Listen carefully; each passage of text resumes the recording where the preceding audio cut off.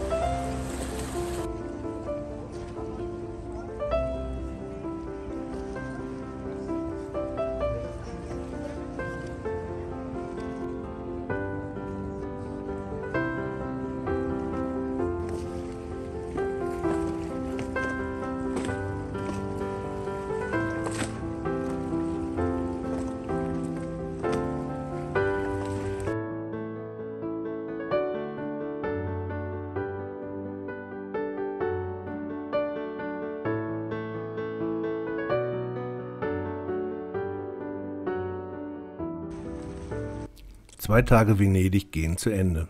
Wir haben viel gesehen, wir haben viele Eindrücke gewonnen.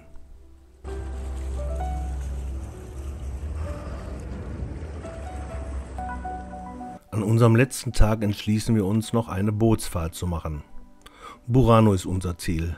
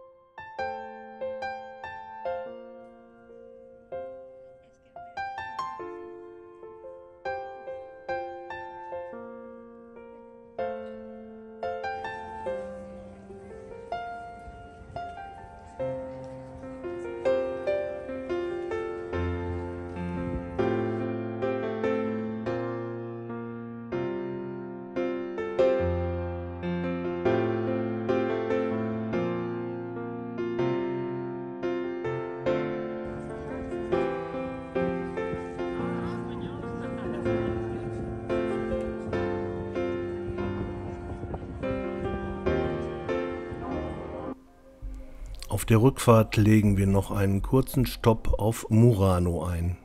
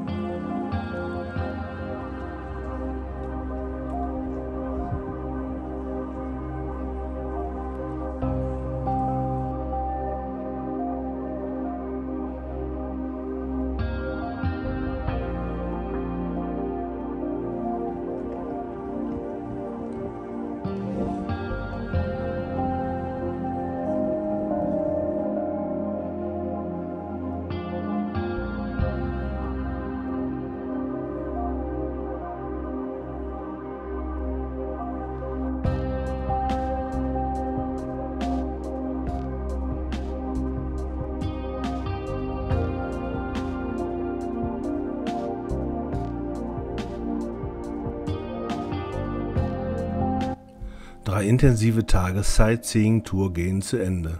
Es ist Mitte Mai und es waren nicht viele Touristen vor Ort.